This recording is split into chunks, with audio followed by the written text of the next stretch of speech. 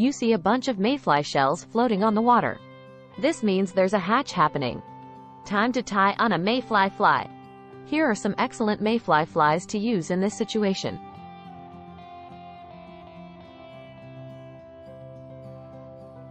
Split case. This fly pattern features a body that splits open and mimics the moment the mayfly breaks free from its shell. Cripple. This pattern has a bent or curved body, representing a mayfly pupa that is struggling to emerge. Fish often target these vulnerable pups. Beadhead. A mayfly beadhead nymph can add weight for deeper water and a touch of attraction for this hatch. 1. Match the hatch. Ideally, your fly should resemble the emerging mayfly species. Look for clues like the floating exoskeleton's size, color, and wing shape. Local fly shops or online resources can help you identify the specific mayfly and recommend matching flies. 2. Size. Mayfly pupae vary in size depending on the species.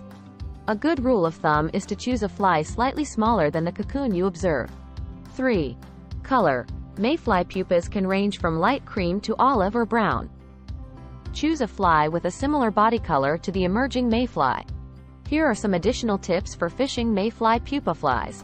1. Depth control.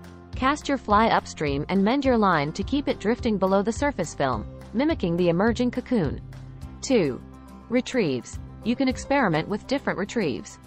Sometimes, a slow, steady retrieve works well, while other times, a slight pulsing motion can imitate a struggling cocoon. 3. Leader length. A slightly longer leader, around 9 feet, can give the mayfly pupa a more natural drift downstream. By understanding the mayfly hatch and choosing the right pupa fly, you'll be well on your way to catching fish during this prime feeding opportunity. For more detailed information regarding hatches, check out What is a Hatch?